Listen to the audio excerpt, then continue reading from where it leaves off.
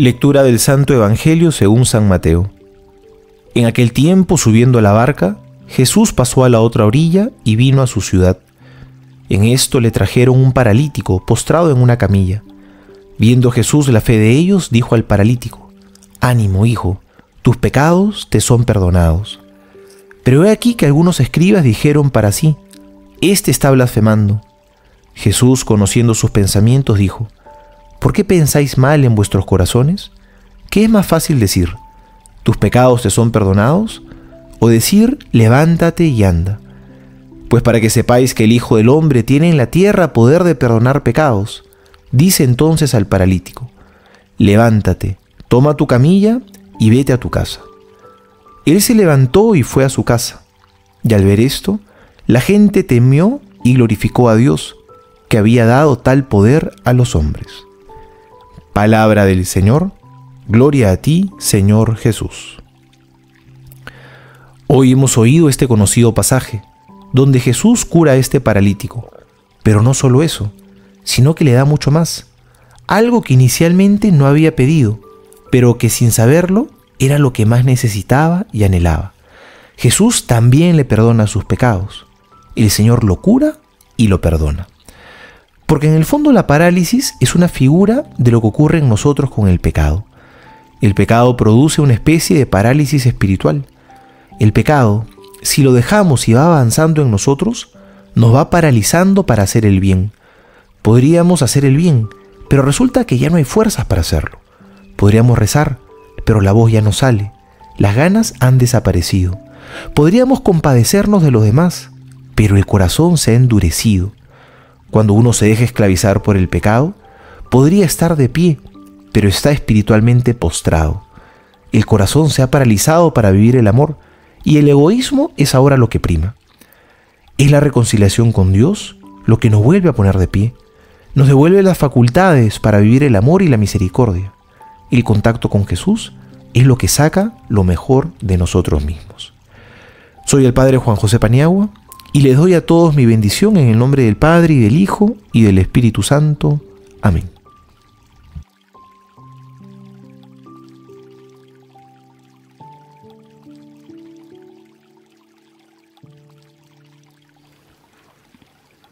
Comentarios de los Padres de la Iglesia.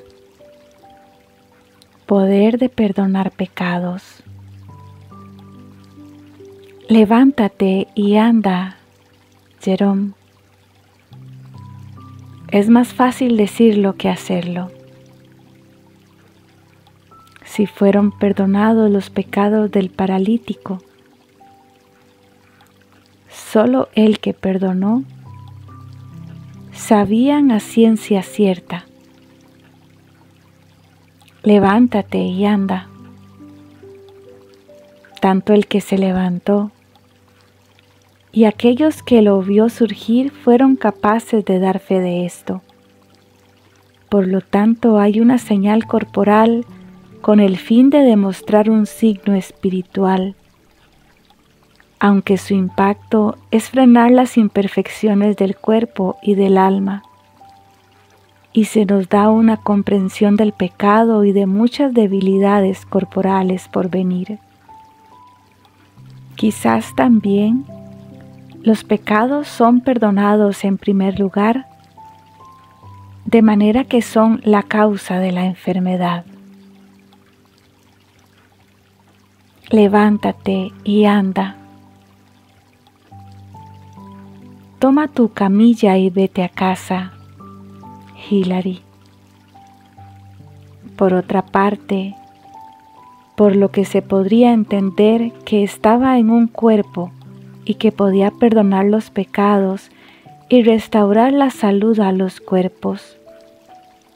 Jesús dijo, que sepan que el Hijo del Hombre tiene potestad en la tierra para perdonar pecados. Entonces dijo al paralítico,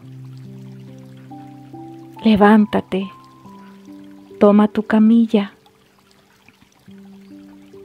él podría haber dicho simplemente, Aricé, pero dado que la razón de hacer toda obra tenía que ser explicado, agregó, toma tu camilla y vete a casa. Primero le concedió la remisión de los pecados. Junto mostró su capacidad para restaurar la salud. Luego, con la toma de la paleta, dejó en claro que los cuerpos estarían libres de la enfermedad y el sufrimiento. Por último, con el regreso del, paralítico a su casa, se demostró que los creyentes se les da de nuevo la forma del paraíso del que Adán, el Padre de todos, que se convirtió en despilfarrador de la mancha del pecado, había procedido.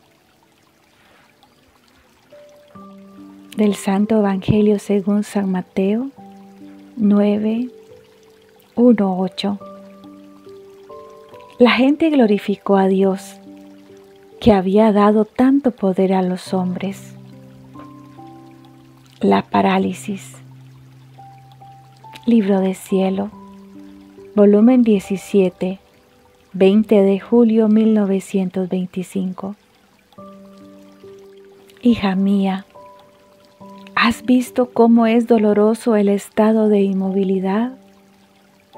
Es el estado más duro porque aún sintiendo acervos dolores, el movimiento es alivio, es señal de vida.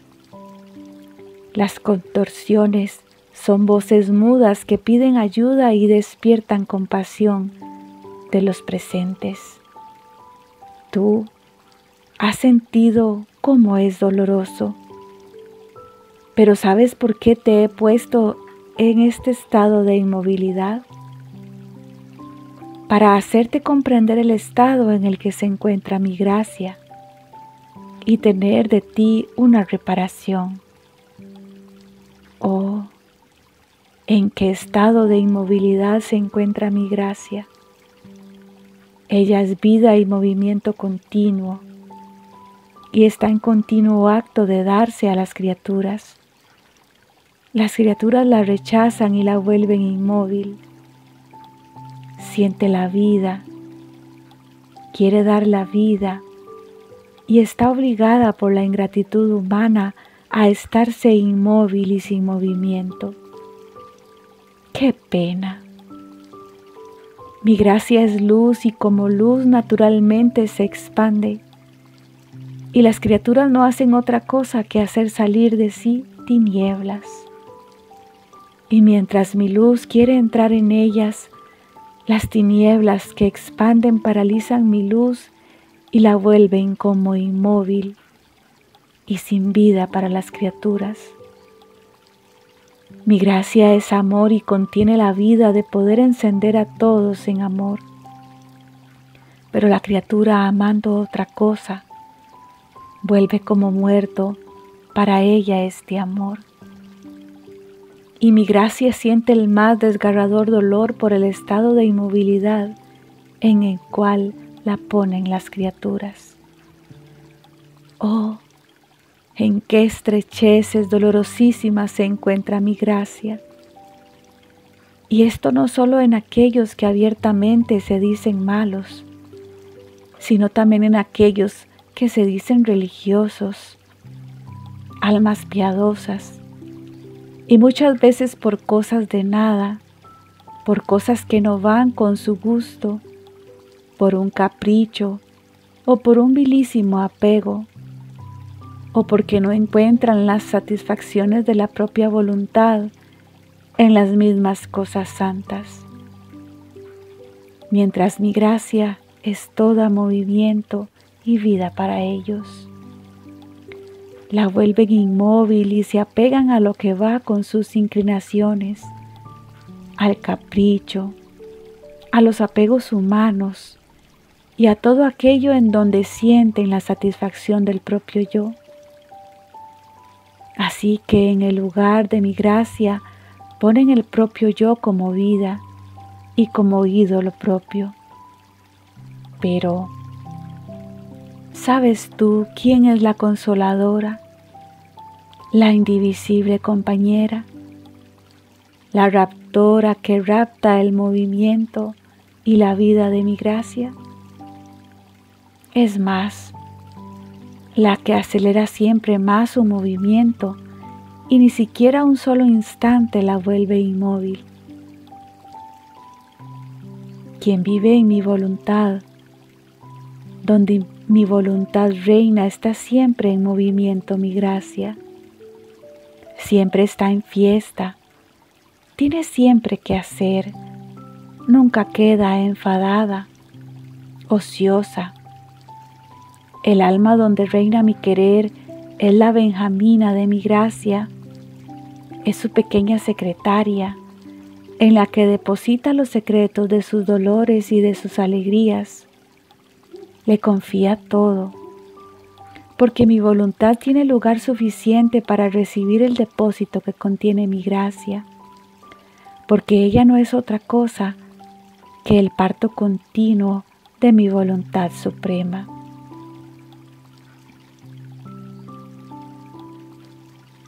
La postración que se debe tener.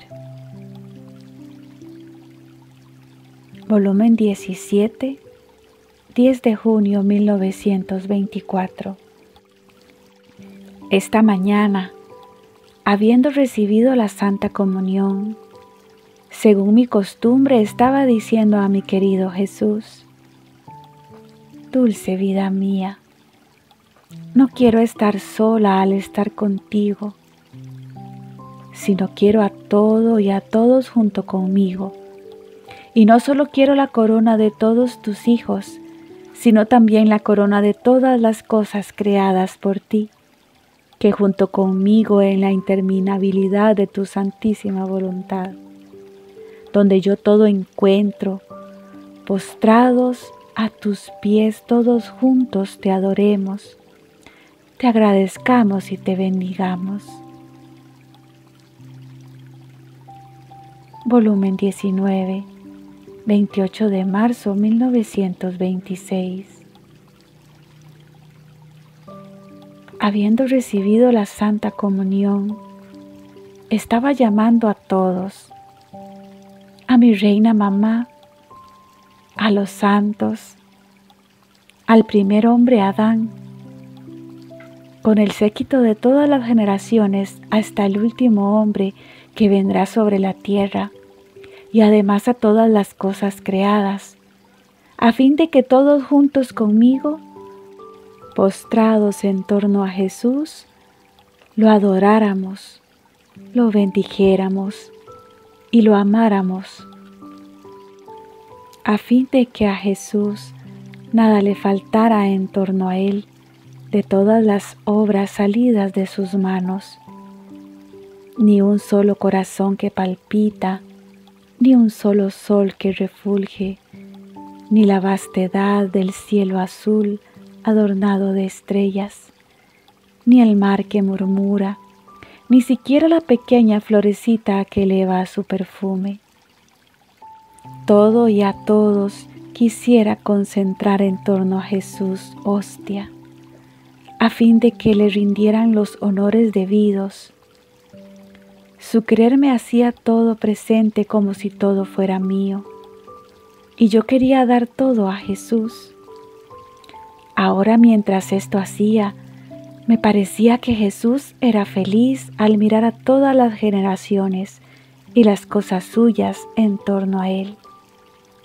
Y estrechándome así, me ha dicho, Hija mía, cómo estoy contento al ver en torno a mí a todas mis obras. Me siento restituir la alegría, la felicidad que les di al crearlas, y yo les correspondo con nueva felicidad. Este es el gran bien que contiene y lleva mi voluntad, y en quien vive en ella concentra los bienes de todos en ella porque mi voluntad no hay bien que no lleve y vincula al alma, a todos y a todo lo que a ella pertenece. Así que si la criatura no se hubiese sustraído de mi querer, Yo debía encontrar a todos en una y a cada una en todos. Los bienes, la luz, la fuerza, la ciencia, el amor, la belleza, debían ser comunes a todos. No debía haber ni tuyo ni mío, ni en el orden natural ni en el orden espiritual. Cada una de las criaturas podría tomar cuanto quisiera.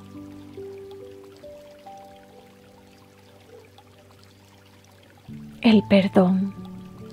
Volumen 11, primero de noviembre 1912. Y Jesús, no, no pienso en mí mismo. Piensa en sí mismo quien tiene necesidad de alguna cosa. Yo no tengo necesidad de nada.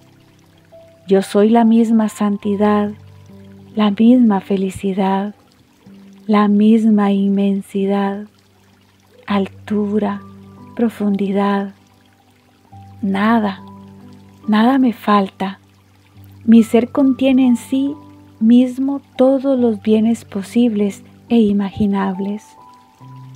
Si algún pensamiento me pudiera ocupar en el pensamiento del género humano, que habiéndolo sacado de mí, quiero que regrese a mí. Y en tales condiciones pongo a las almas que quieren hacer verdaderamente mi voluntad. Son una sola cosa conmigo. Las vuelvo dueñas de mis bienes, porque en mi voluntad no hay esclavitud. Lo que es mío es de ellas y lo que quiero yo, lo quieren ellas.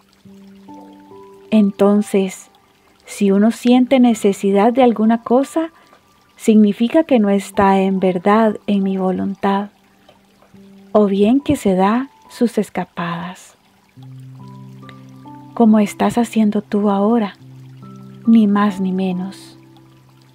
¿No te parece extraño que quien ha formado una sola cosa un solo querer conmigo me pida piedad, perdón, mi sangre, mis penas, mientras que la he constituido dueña junto conmigo? Yo no sé qué piedad, qué perdón darle, pues le he dado todo.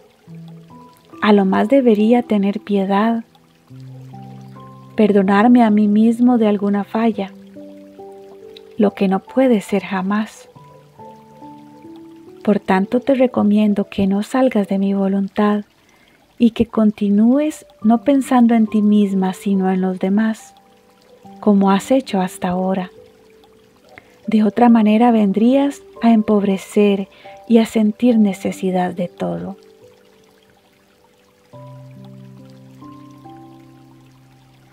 Levántate y anda volumen 19, 18 de julio 1926. Se engañan aquellos que piensan que nuestra suma bondad y sabiduría infinita habrían dejado al hombre solo con los bienes de la redención, sin levantarlo de nuevo al estado primero creado por nosotros. Si fuera así, nuestra creación hubiera quedado sin su finalidad y por lo tanto sin su pleno efecto. Lo que no puede ser en las obras de un Dios.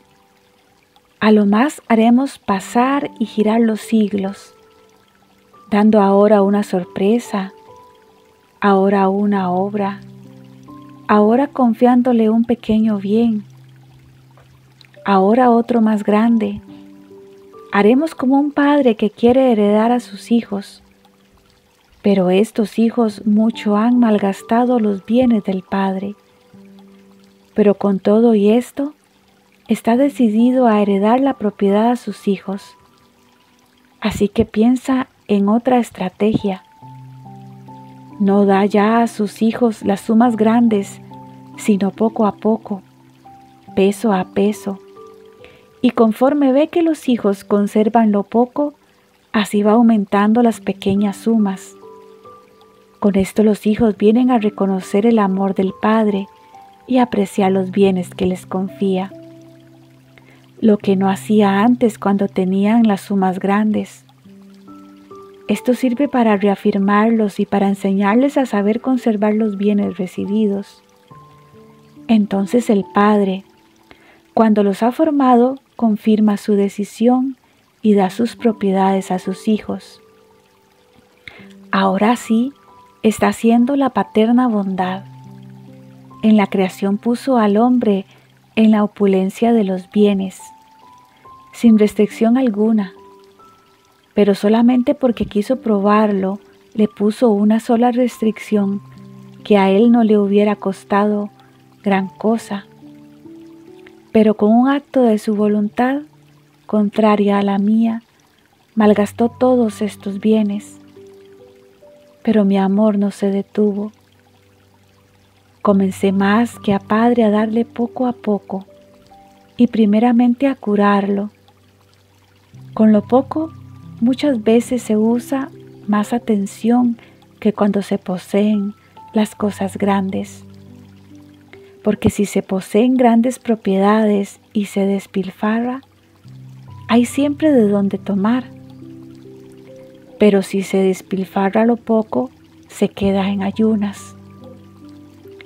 Pero la decisión de dar el reino de mi voluntad al hombre no la he cambiado. El hombre cambia, Dios no se cambia. Ahora la cosa es más fácil, porque los bienes de la redención han hecho el camino han hecho conocer muchas sorpresas de mi amor por el hombre, como los he amado, no con el solo fiat, sino con darle mi propia vida. Si bien mi fiat me cuesta más que mi misma humanidad, porque el fiat es divino, inmenso y eterno. Mi humanidad es humana, limitada y en el tiempo tiene su principio pero la mente humana, no conociendo a fondo lo que significa el fiat, su valor, su potencia y qué puede hacer, se dejan impresionar más por todo lo que hice y sufrí al venir a redimirlos, sin saber que bajo mis penas y mi muerte estaba escondido mi fiat, que daba vida a mis penas.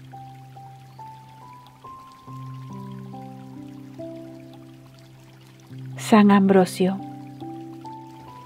Los hombres al perdonar los pecados muestran su ministerio, pero no ejercen el derecho de un poder e incluso no perdonan en el propio nombre, sino en el nombre del Padre, Hijo y Espíritu Santo. Ellos ruegan y la divinidad dona, pues el servicio pertenece a los hombres pero la generosidad pertenece al poder de Dios. Fiat. Bendiciones en el divino querer.